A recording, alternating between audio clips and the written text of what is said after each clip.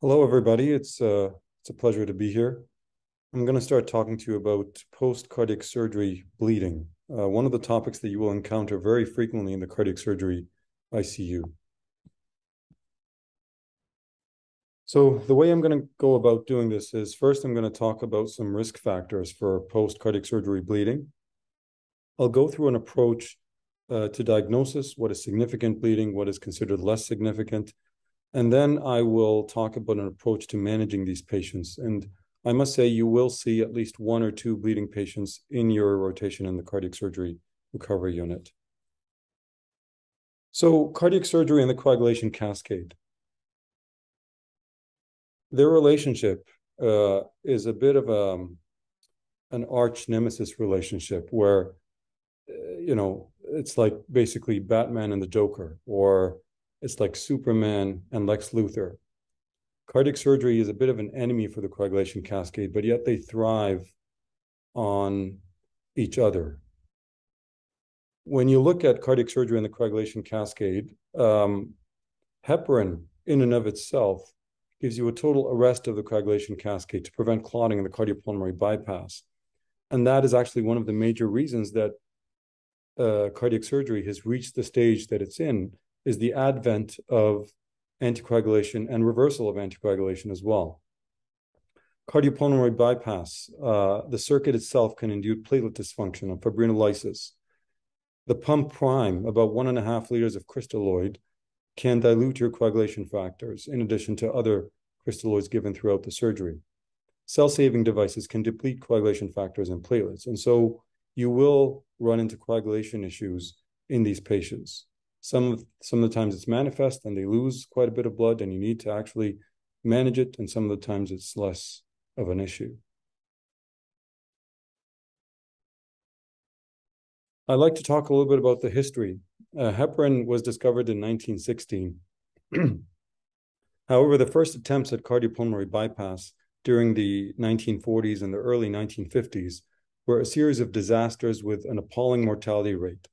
Part of it was clotting on the cardiopulmonary bypass circuit. And then when they started implementing anticoagulation, they actually did not have protamine in these days. Heparin was available, but protamine uh, only became commercially available later on. And so a lot of these patients bled quite a bit after surgery. There was a review that was published in that timeline, in that time about the 1950s or so, that showed that 18 patients undergoing cardiac surgery were using bypass at six different centers, 17 deaths, and only one survivor. And then protamine became commercially available in the mid 1950s, and things became a little bit better. Now you can actually reverse these patients after coming off bypass. So let's uh, tackle this topic through a case. So we have a 65 year old male patient who is post urgent CABG. He comes to you in CSRU. On handover, you come to know that the patient's received aspirin and clopidogrel pre op for his coronary angio. Intra-op, he received two units of packed cells, one unit of platelets. The surgeons tell you he was a bit oozy upon closure, and cardiopulmonary bypass time was 130 minutes. You receive him post-op in the first hour, he dumps about 300 mils, and in the second, third, and fourth hours, he's consistently putting out 200 mils. What will be your approach to this patient? So let's think about this for a second here. And let's go back to our uh, framework. So we'll identify first the risk factors. We'll develop an approach to diagnosis, an approach to managing these patients. so the risk factors. There's pre-op risk factors, and these include antiplatelets, which this patient clearly has had pre-op, ASA, and clopidogrel.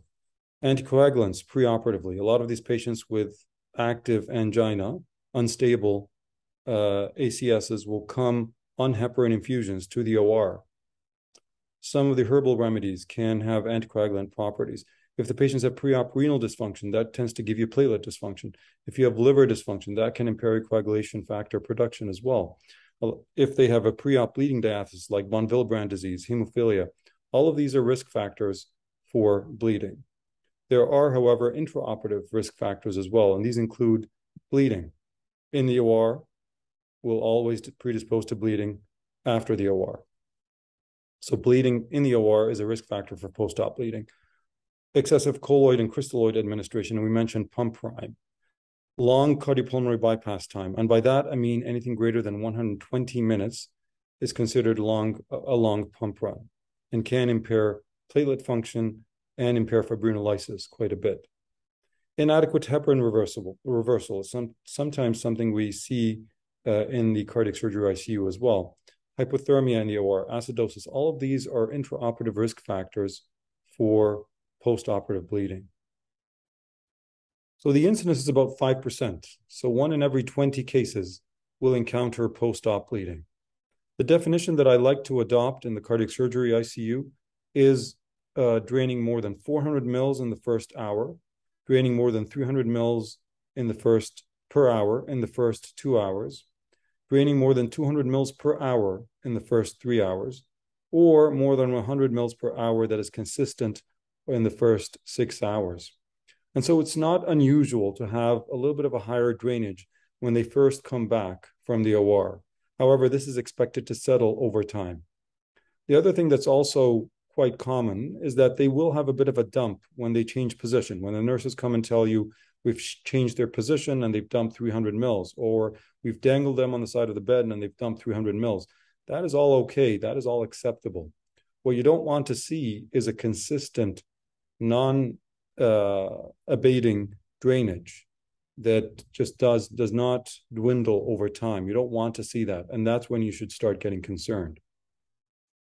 Another alternative definition to post-cardiac surgery bleeding is putting out one liter per case in the first few hours. And so when they hit the one liter mark in the first four or five hours, you should generally let your surgeons know. Now, why do we care so much about bleeding? We obviously care because of the impact on uh, on tissue perfusion, on the blood transfusion requirements that are uh, that take place, the need for surgical re-exploration after bleeding, which in and of itself is a risk factor for mediastinitis and increased rates of infection, and obviously bleeding post-op prolongs your ICU stay, and so it's a, a resource consumption issue as well, in addition to having impact on patient outcomes. So, what are the causes of post cardiac surgery bleeding? what I was showing here in this previous video was bleeding that was, you were holding that chest drain and you can see that the column of blood is rising up against gravity. Always a bad sign. When you have somebody who's bleeding in ICU and you elevate your chest drain and you see the column of blood rising up against gravity, that rate of output is concerning. That is the rate that you should inform your surgeons about. So, in terms of causes, I like to break them down from a practical standpoint into medical versus surgical. And that's how the surgeons will talk. That's the lingo that you will hear in CSRU. Is it medical bleeding, do you think, or is it surgical bleeding? Medical bleeding can happen because of a, quite a few factors residual heparin or heparin rebound. That can give you medical bleeding. Platelet dysfunction, we mentioned how uh, cardiopulmonary bypass gives can give you platelet dysfunction. Thrombocytopenia can give you medical bleeding. Coagulation factor deficits can give you medical bleeding. Fibrinolysis can give you medical bleeding.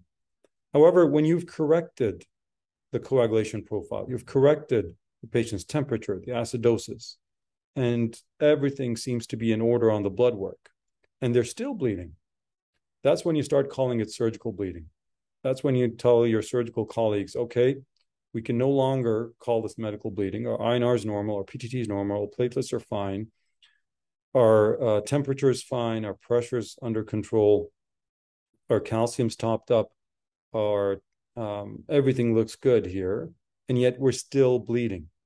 That's when you start saying, okay, this cannot be medical bleeding. We need your help. And surgical bleeding can happen because of a bunch of things. The sternal bed can sometimes uh, bleed. Uh, the bone marrow can, in and of itself, actually be a source of bleeding. The chest wall tends to be a source of bleeding, especially around the Lima or the Lida harvest uh, area. When you see, when you look at these X-rays post-op, you'll see a lot of clips in the chest because you're clipping off the Lima branches. And so the Lima harvest bed can be a source of bleeding. The anastomotic sites on the heart itself can be a source of bleeding. The vein graft to the RCA or the circ, or even the Lima to the LAD, that can be a source of bleeding. Even the graft harvest uh, sites, and we spoke about the Lima bed, but even in the legs, sometimes you can get bleeding. Not very commonly, but it can happen. And so there's a bunch of surgical causes for bleeding that you need to be mindful of. Now, um, one surgical cause of bleeding that I like to talk about uh, is AV groove disruption. Now, this is usually something uh, most of the time they'll discover in the OR. And it's a very rare complication. Well, I shouldn't say very rare. It's a rare complication of mi- mitral valve replacement. I've seen it in the CSRU. It's essentially uh, when you have the risk the risk factors are elderly females with a very calcified mitral valve annulus. And so just taking sutures in that mitral annulus while you're replacing the valve can sometimes lead to AV groove disruption. And as you can imagine from the name, it's really just a dis- disruption in the back of the heart at the level of the AV groove, where the back of the heart is actually bleeding, a very tough spot to control. And so, how this presents, usually in the OR, the surgeons will see the field start filling up with blood, and they're not sure where the blood is coming from. Usually, it's coming from the back of the heart. If that's the case, they suction, they look around, they can't find the source of blood. And if it's still filling up from the back of the heart, your diagnosis is there. You're likely dealing with AV groove disruption. It's a very high risk situation. The mortality is about 25 to 70%. A lot of times it's it's tough to actually do any form of repair on this. Uh, I've seen one case where the surgeons really just tried to uh, put Surgicel as much as they can, left the chest open, and basically brought them over to CSRU. Ended up getting factor seven and ended up settling down over time. And this patient got her chest closed eventually. But it's a situation where you can usually face a lot of blood, and that can continue into the post op period. So let's talk a little bit about heparin rebound as a cause of medical bleeding. So uh, heparin can reappear in the central circulation after you've neutralized uh, the initial uh, heparin bolus with protamine. So coming off pump, usually the surgeons will ask for protamine after they've removed the venous cannula. So that's your hint. The surgeons will now ask me to give protamine after they've removed the venous cannula. You, you neutralize the heparin with protamine. The protamine half life uh, is about 10 minutes or so. And so when you look at uh, four to five half lives, you're talking about something close to 40 minutes. The half life of heparin is a, an hour and a half. So the half life of heparin itself is actually longer than the heparin protamine complex. And the bad news is heparin is heavily protein bound. And so it can re enter the circulation after protamine eliminates the initial centrally uh, circulating heparin. And so that heparin rebound can happen in patients on pre-op infusions. They usually have a higher uh, level of protein-bound heparin, uh, or with high intra-op doses, you can get heparin rebound. Almost all patients have some degree of heparin rebound. And that's been shown in a study where they actually measured in thrombin um, clotting time, anti-factor 10A activity, protein-bound heparin, so assays that we don't typically use in our clinical practice. But in this study, they looked at what percentage of patients experiences heparin rebound, and they found that it was close to 100%. However, it's not always clinically significant. There was an RCT where they actually randomized 300 cardiac surgery patients to getting either protamine post-op for six hours as an infusion versus saline. And they found that giving protamine reduced chest tube output by about 13%, but was not associated with reduced transfusion rates. So it did not have a clinically significant impact despite reducing chest tube output. How do we diagnose it clinically when we don't have all these assays? Usually, when you get a patient fresh from the OR, you'll do a fresh set of coags, and then you'll repeat the coags four hours later. If you find that the initial set of coags, the PTT was normal, and then the PTT started to drift up after the initial normal values, the usual cause is heparin rebound. Heparin targets the PTT. And so uh, if you're if you want to treat uh, a, a, high PTT, if the patient is bleeding or at risk for bleeding, then protamine infusion will reliably eliminate this rebound. Some of our surgeons use protamine infusions routinely for all our patients. That's it's an acceptable practice, but as I said, um, uh, from an RCT or an evidence-based standpoint, it was never really shown to reduce transfusion rates. So, how do you manage excessive bleeding post-op? So, um, products, blood products, you need to keep on top of your coagulation profile. You need to correct your INR, your PTT. You need to replace the lost hemoglobin. Um, try to keep their pressure on the lower side. The higher the pressure, the more they will bleed. In fact, if the pressure is really high, you'll be testing the suture lines for the surgeons. You don't want their pressure to be really high. You want the pressure, especially if they're bleeding, to be closer to a systolic of 90 to 100. We want to preserve these patients' temperatures. Hypothermia will make bleeding worse. You want to correct their acidosis. You want to top up their calcium. You want to give procoagulant drugs to these patients. Increasing PEEPs will sometimes help tamponade the bleeding. You can go up on the PEEP to 10, provided their blood pressure tolerates it. And then last but not least, a lot of these patients will have a Prolene deficiency issue. They need to go back to the OR to get a few sutures in place. I must say, though, if you are concerned, page your cardiac surgeons early on. The reason is the cardiac surgeons know what happened in the OR. A lot of times they'll bring the patients over and they will have some concern in their mind about what took place in the OR. They'll have some concern in their mind about the potential for bleeding. Informing your surgeons early on is extremely important in in you know in the subset of patients who they're bleeding a little bit excessively. They're not meeting that you know 400 mil an hour threshold, but they're just they're just putting out quite a bit of blood. Some of the surgeons will actually take patients back based on their knowledge of what happened in the OR. And so involves, involving surgeons early on is extremely important. So if a patient is uh, bleeding to the degree that you're having to transfuse very frequently, it'll help you quite a bit to activate the massive transfusion protocol.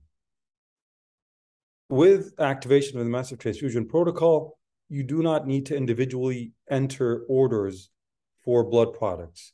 All you need to do is ask them to send a porter to pick up blood from the blood bank. As soon as the porter picks up four units of packed cells, four units of FFP, and adult dose of platelets, blood bank will know to automatically put on standby another four units of packed cells, another four units of FFP, and another adult dose of platelets. so that will help you quite a bit in managing these patients. Instead of having to individually order packed cells, blood bank resources will put be put on standby for your patients, and they'll automatically have units ready for you to go. We just need to send somebody to pick them up. So when you're running a massive transfusion protocol, do not forget to check your CBC, your INR, your PTT, and your fibrinogen after each round of transfusion. And by one round, I mean the four of cells, four of FFP, and one dose of platelets. If your fibrinogen is less than two grams per liter, give fibrinogen or cryoprecipitate if the patient is bleeding. Now we have fibrinogen available to us. So four grams of fibrinogen will be needed if your fibrinogen levels are low. Some of our surgeons will use 1.5 as the cutoff. Uh, there has been recent guidelines that suggest two grams per liter as a better cutoff for giving fibrinogen concentrate, especially if the patient is bleeding. One gram of calcium chloride IV per round of blood products is a reasonable ratio. And products will continue to be made available to you until the protocol is deactivated. Now, you can either deactivate it by calling up Blood Bank, or if you do not order blood within a four hour timeline, Blood Bank will know to automatically deactivate the protocol. So, as long as you're sending somebody to pick up units, they'll keep the protocol active. Once you stop sending people to pick up blood products for four hours in a row, the protocol automatically deactivates as per the LHSC uh, policies. So, what procoagulant drugs can you use in a bleeding patient post op? So, protamine is one we spoke about. You can give a 50 milligram bolus and then run an infusion of 100 milligrams over four hours. That will take care of any form of heparin rebound. DDAVP is uh, is one uh, procoagulant that you can give in the post-op period, provided they did not receive it in the OR, and the dose is 0.3 mics per kilo up to a max of 20 mics IVs, five amps of DDAVP. Each amp is four micrograms, and so that is the max dose that you can give, and it'll improve your platelet function by activating von Willebrand's factor. And so that's how it works. If you're suspecting dysfunctional platelets, give DDAVP. now, the evidence is a little bit um, not very strong for DDAVP. Um, and so we still give it, we still think it works. However, there has been a meta analysis recently that says it works about 50% of the time. So, um, so it's still something we give though in this patient population if we're concerned and if they haven't had a dose in the OR. Now, tranexamic acid, you can consider giving post-op an extra dose. Usually, however, they will have had a dose in the OR. And how tranexamic acid works, it's an antifibrinolytic, prevents the fibrinolysis that can happen. Fibrinolysis destabilizes clot. And so tranexamic acid has been shown to reduce transfusion requirements. And so we will usually give it routinely in the OR in our cardiac surgery population. the recommended intra-op dose is a maximum of up to 30 milligrams per kilo total. So if you have a um, 70 kilogram patient, 70 times 30 is 2.1 grams total. We'll usually give an initial bolus and then run an infusion throughout the OR. As I said, it's given routinely intra-op, but if it was not given for any reason, consider giving a post-op dose. If the patient's bleeding, you can give five to 10 milligrams per kilo. Now, the the the one important side effect to know from tranix, uh, you know, that tranexamic acid can give you is post-op seizures. Uh, tranexamic acid can cause CNS excitation and post-op seizures, especially if there's a buildup of, of risk factors for seizures a big dose of tranexamic acid in an elderly patient with renal dysfunction who's had, you know, Ancef 2 grams pre-pumped, Ancef 2 grams post-pump, which can reduce your seizure threshold.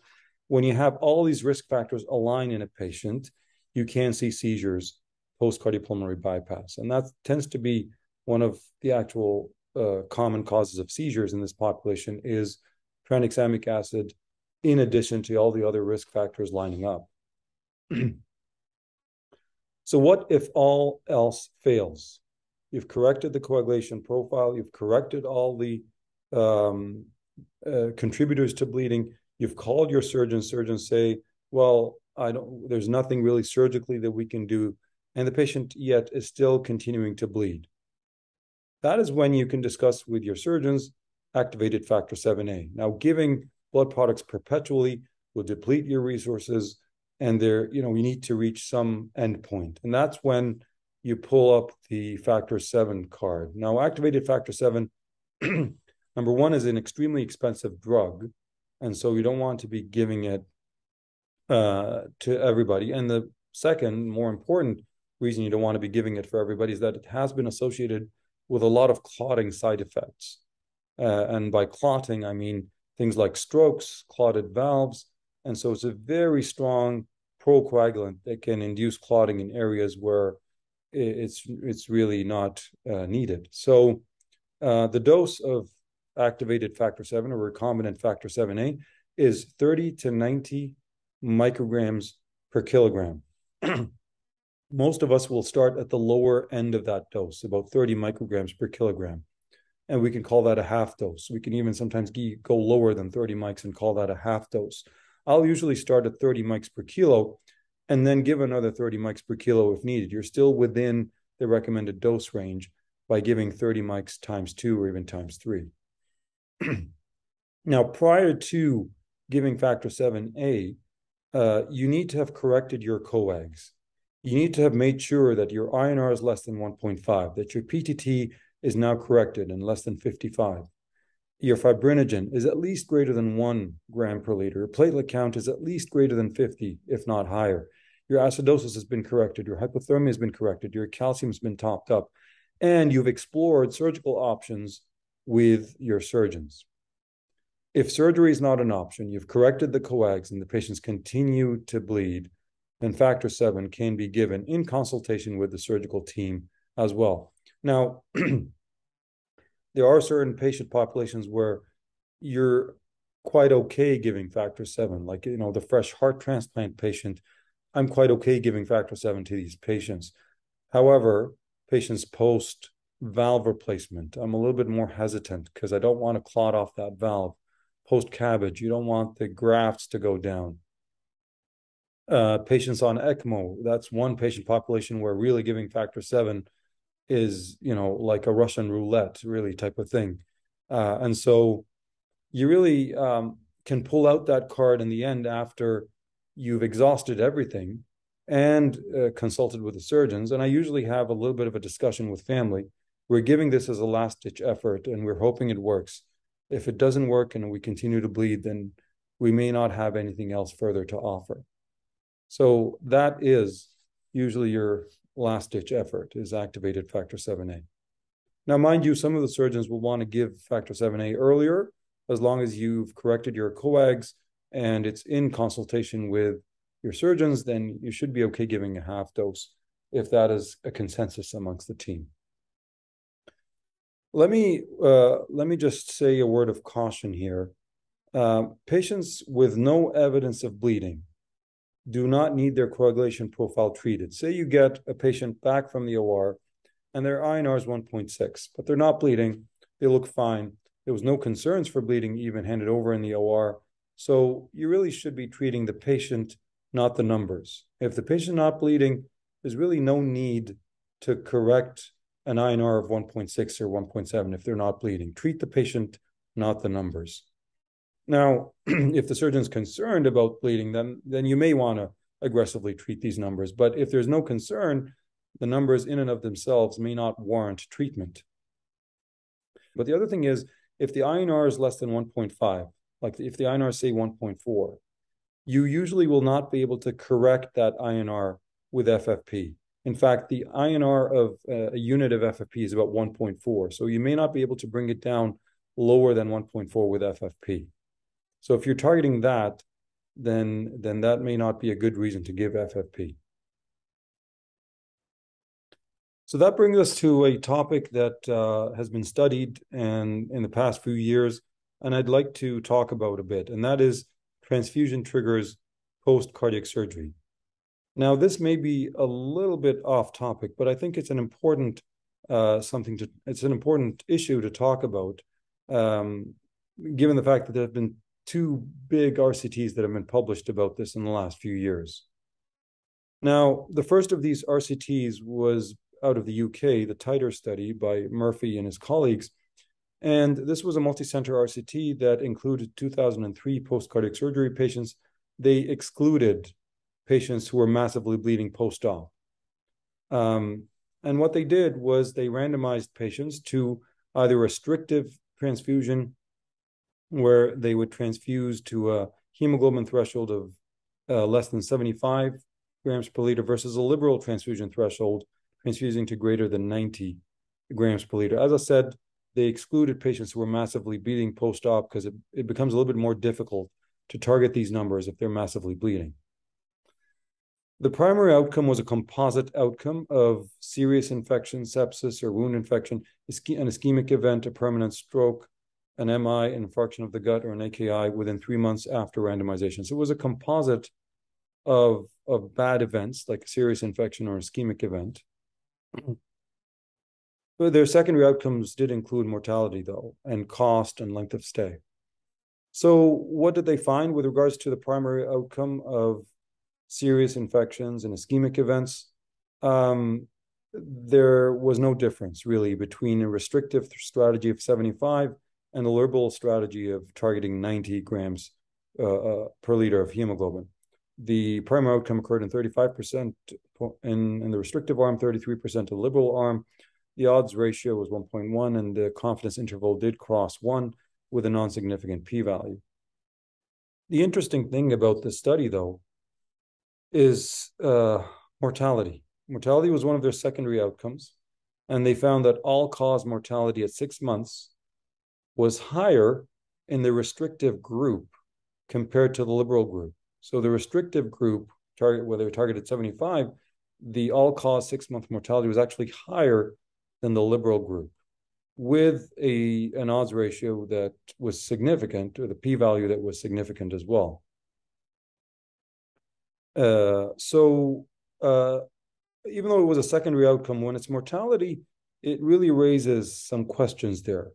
Why was the mortality higher at six months? It was an all cause mortality. Why was it higher at six months in the restrictive group?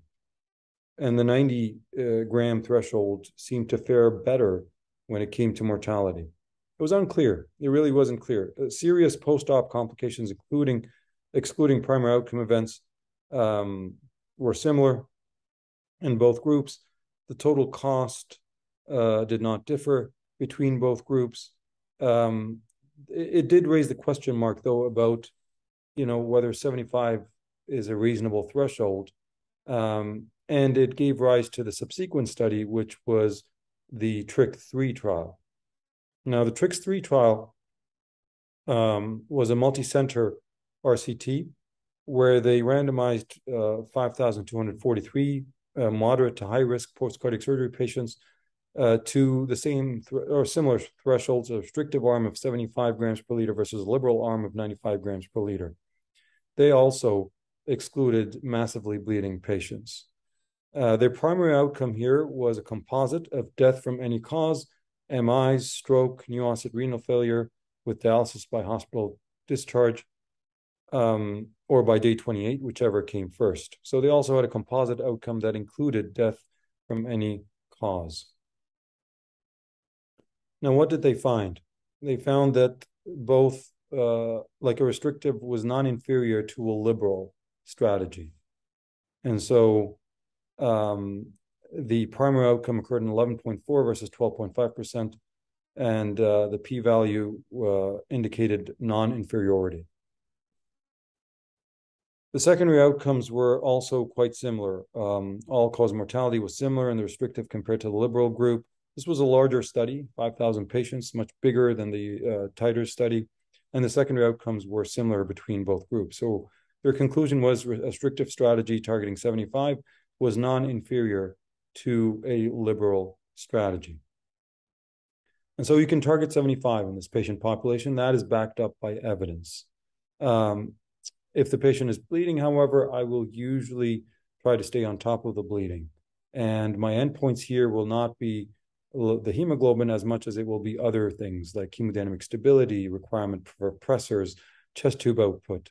All of these will factor in when you're transfusing blood products to an actively bleeding patient. So brings us to the last point that I'm going to talk about here. Uh, bleeding seems to have settled. Things seem to have, the bleeding seems to have stopped. Is this a good thing? Could be, could be a good thing. But before you start giving each other high fives, eh, you need to understand that it also may not be a good thing. When the bleeding stops, the things you need to monitor for number one, you need to monitor for tamponade. Watch for an increase in pressure requirements despite the bleeding having stopped. Watch for art line variability. When you see the stroke volume peaks or the art line peaks having a lot of variation, that is what we used to call, well, we still call it pulsus paradoxus back in the day when we used to measure it with a cuff. You see that now with an art line. You see the variability in the art line tracing. You start seeing a lactate rise. You start seeing a urine output drop. All of that should trigger in your mind uh, uh, two things. Number one, calling the surgeons. Number two, a TEE to assess for tamponade. And so if the bleeding has stopped because the chest tubes have clotted, that may mean that there's bleeding around the heart that is giving you issues. the other uh, area that they may be accumulating blood is the pleura. So you need to continue to monitor hemoglobin uh, for a while after bleeding has stopped because a continued drop may reflect uh, under resuscitation is one uh, is one is one possibility that you're just behind on blood products, but the other possibility is that they may continue to be bleeding into the chest. Their chest tubes have clotted, but they're just accumulating in the pleura. And so, if that's what you're thinking, order a chest x ray and a POCUS may be helpful. And so, bear in mind these two possibilities when the bleeding has stopped. Um, watch for tamponade, watch for bleeding into the pleura. Have a low threshold to do a TEE. If you start seeing uh, features of tamponade, have a low threshold to repeat an x ray. If you feel like the bleeding is just continuing uh, and then, however, it's just not visible to you externally. Now, this is um, a patient where the bleeding had quote unquote stopped. And you can see here, this is a mid-esophageal uh, aortic valve short axis view, where you can see that the right atrium here, the right atrial free wall is convex. This is not normal. The right atrial free wall is usually, uh, sorry, it's it's here is concave. Usually it's convex outwards. It's usually not flat and it's usually not concave like this. So there's clearly outward compression on that right atrium. And when we go to the bicaval view, this is a very impressively compressed right atrium. You see the left atrium here in the near field, the interatrial septum. The right atrium is quite clearly compressed with a clot. And so let me conclude by mentioning a few take home points.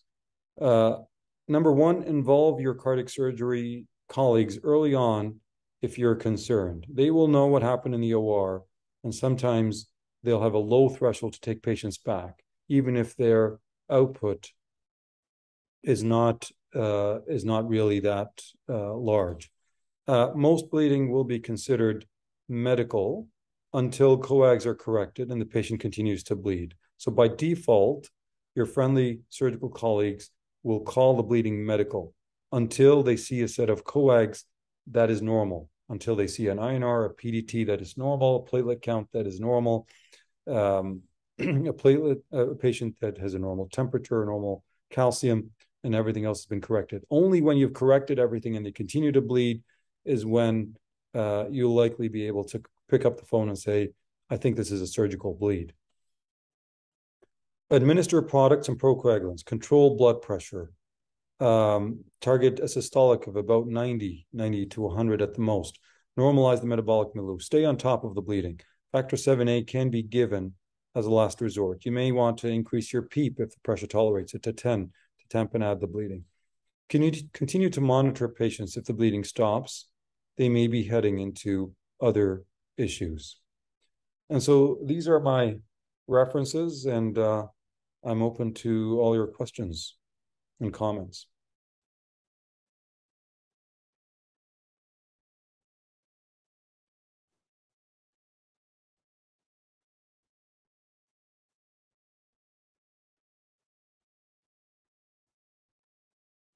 Hi, Dr. Hegazy. Um, Malcolm here. Nice to see you, of course.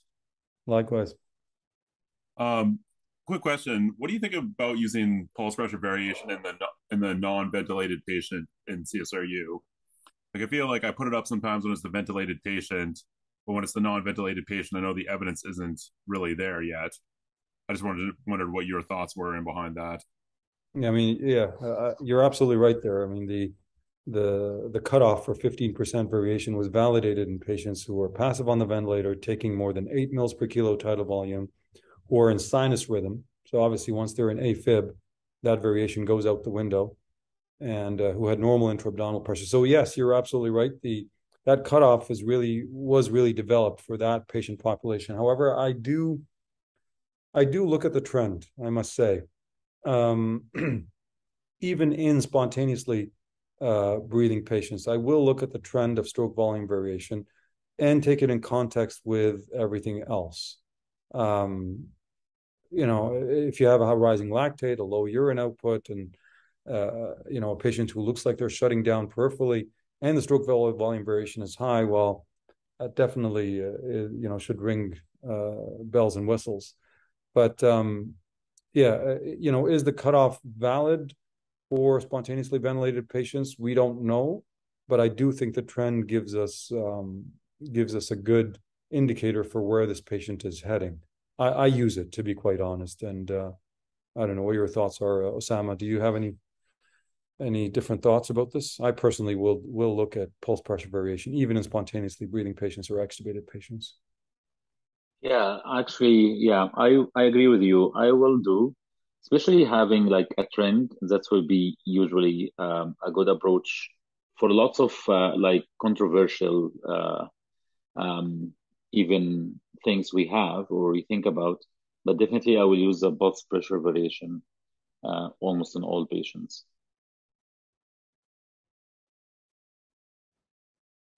Uh, if you allow me, That's great. That makes a lot of sense. Yeah.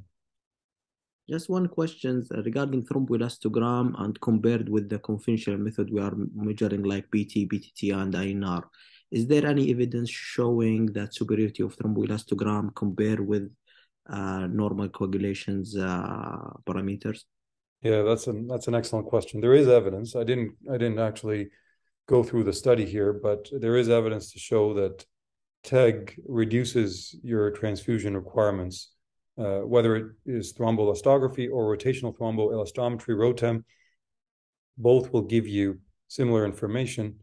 And uh, they have been shown to be superior uh, to our conventional methods when it comes to transfusion requirements. Uh, you tend to transfuse less when you're depending on ROTEM. And ROTEM will give you information that conventional um, uh, conventional lab work will not give you. Like for example, platelet function. Platelet function will be reflected on the strength of the clot, and you don't get platelet function uh, by ordering a CBC. However, ROTEM will give you an indication of platelet function. ROTEM will give you an indication whether fibrinolysis is an issue, uh, how quickly the waveform tapers out. If it tapers out too quickly, then fibrinolysis is an issue then maybe giving tranexamic acid may help this patient.